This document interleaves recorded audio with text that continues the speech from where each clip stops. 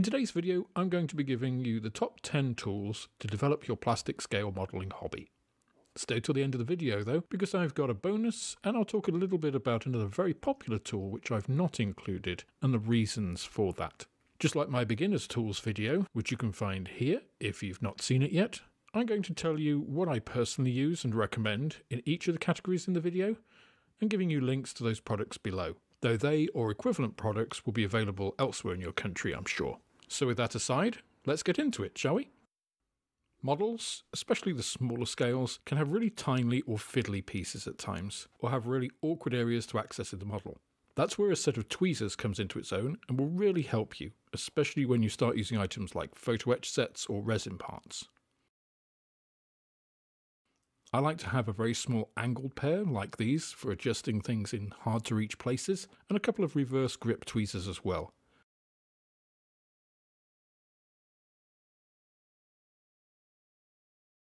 These need pressure to release the jaws and are useful for tasks like holding small parts in place, whilst also having to manipulate something else, like an undercarriage bay door. Whatever your age and condition of your eyesight, some of those smaller parts are going to require some sort of magnification to be able to manipulate and paint them well.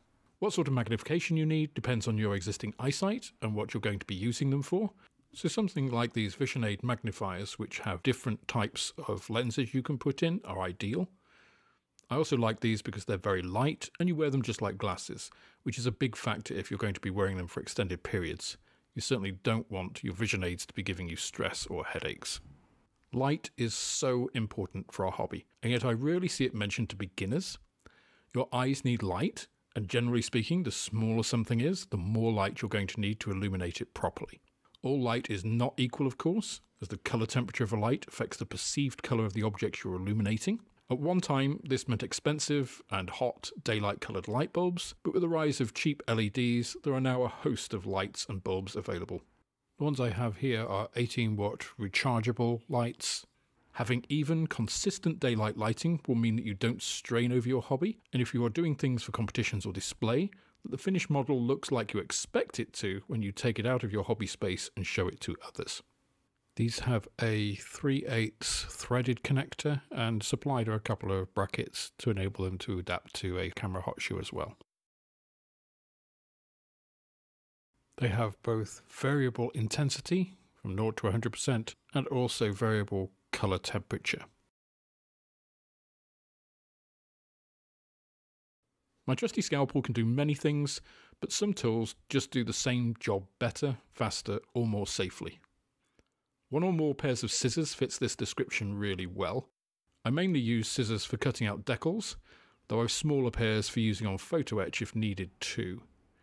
There's no need to go for super expensive modelling brands either. Something functional, comfortable, and relatively sharp is fine. So sticking with decals, one of the first things I'd advise you to buy is some decal solution to aid in softening and adhering your decals to your models. Without it, your decals can silver, where air gets underneath them as they dry and they essentially become small mirrors, which really detracts from the look of them. Now there are a bunch of proprietary decal solutions out there, but the best thing I've found is the miracle solution known as Pledge. This used to be Future Floor Polish, but has since been purchased and rebranded to Pledge. A bottle of this stuff will last you for years and it's dual purpose. It acts as a semi gloss to gloss varnish and sealant, and it's also a great decal solution. So you can use it to both create a smoother surface for your decals and then use the same solution to adhere and seal those decals all in one. So just go and buy some. Moving on to some more specialised items now. The first of these is the razor saw. These are extremely fine saws that you can use to produce cuts in model kits without losing a ton of material, and they're ideal for opening up hatches, flaps, and so on. They can also be used to scribe panel lines in aircraft, a task that many modelers find onerous, but is easier with a tool like this. A pin vise is a small handheld tool which clamps micro drill bits so you can use them to create tiny holes. These are essential for opening up ports, gun barrels, attachment points, etc., and they're also very useful in opening up hatches or panels, especially if you're using aftermarket accessories like resin sets. There are some mechanical versions available, but I'd hold off on those until you're more used to working manually because most electric drills of whatever size are far too fast and will very quickly melt the plastic you're working on, sometimes with disastrous results. In most models, there is a large assembly or sub-assembly that is either too big to hold effectively whilst drying, or has some issue where one area wants to come apart while the other is being held together. This is where clamping the model is important. As is common in our hobby, there are proprietary tools for this purpose, some of which are actually worth buying, but most of what we need doing can be done with small, cheap clamps that are available from discount stores or DIY shops. I have a couple of different types, some small spring-loaded ones, and some variable-sized manual ones. One word of warning though, if you're going to get spring-loaded clamps, make sure they're not too strong. This is where cheaper clamps are often better, and the ones we want are probably not going to be that useful for DIY as the forces we're applying to our precious plastic need to be fairly light, unlike the shelf you're making in the bedroom. The other clamps I use are from Burner Hobbies. These are burner assemblers. They work with a little carbon fiber rod and these little clamps. And the tension is actually provided from the bending of that carbon rod. So you just squeeze them on the end and they apply a pressure very similar to finger pressure. So it's very light and these are really good for delicate assembly.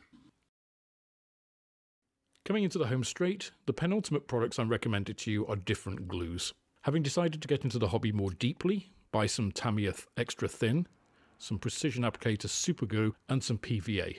I think it's Elmer's glue in the US. Tamiya Extra Thin is a fantastic product and will leave less to no residue on your models. Basically works in reverse to the precision applicator cement I recommended in the essentials. You put your pieces together and then apply it and capillary reaction will draw it into where it's needed. Super glue you'll need when photo etch and resin start to come into play, PVA is great for canopies and other clear parts and for dioramas or temporary fixing. You can also get some two-part epoxy glue, which I don't have shown here. That's also good where you've got parts where you need strength and you want a little bit more working time. If you watched my first kit build video of the Tamiya Sea Harrier, you'll have seen I mixed up a few of the colours I used on some of the parts in the kit. Now I just did this on a piece of spare plastic card as I didn't want viewers to assume they needed to buy a palette, but a dedicated palette is both cheap and makes life a lot easier. There are a load of different designs available and they're available from hobby stores, art shops and the internet. I have a few different designs and it's good to have at least two for different types of paint, like oils, acrylics and enamels. Another palette you might want to consider, especially if you're going to be looking at figures and dioramas, is a wet palette. These are invaluable for creating smooth colour blends by extending the drying time of acrylic paints and allowing you to control consistency and blend of them much more precisely. You can make your own from a takeaway container, some tissue and baking paper, but there are commercial products out there as well. Now I promised you another bonus tip here at the end, and you may well have guessed what it's going to be if you saw my first video. It is of course the airbrush. Now I will add my usual qualifier here, I'm certainly not saying don't buy one. What I'm saying here is that all the tools I've mentioned above are really a higher priority than the airbrush, and you don't want to necessarily rush the airbrush decision and purchase. What I do promise you though is that I'll be covering the airbrush in a future video and giving you some personal recommendations, tips and experiences that will help you make your own decision about if and when to purchase an airbrush, what to use it for, and how much it's going to cost you. The second bonus piece I'm going to give you here is spend some time building up your paints. More paints are going to enable you to have more options in painting, and you don't need to go mad here and buy every colour in the Vallejo's color sets. You can just buy a few basic colors that are going to enable you to make up other colors. Build up what you need, get a basic set if you want, but you don't have to go mad here. Just start to build up some of the colors that you're going to use. So to summarize, the top 10 things you should be getting to really establish yourself in the plastic scale modeling hobby are tweezers, vision aids, some lights, some scissors, pledge, some razor saws, a pin vise and some drill bits, some clamps, set of different types of glue, and one or more paint palettes. You should also start to think about whether to buy an airbrush and what your budget is if you're going to do that, where you'd put it, and all of those kinds of things. Hold those thoughts and look out for my future video on that. I'm also going to be making videos covering the top 10 detail and weathering items too, so please be sure to subscribe and click all under the notification bell to make sure you see those. That's all for this instalment of Mann's Model Moments. Please like, subscribe and share this video if you enjoyed it. It's the best way of helping me to grow the channel and produce more content like it. With that, I hope you have plenty of modelling moments of your own, and I look forward to welcoming you on the next video.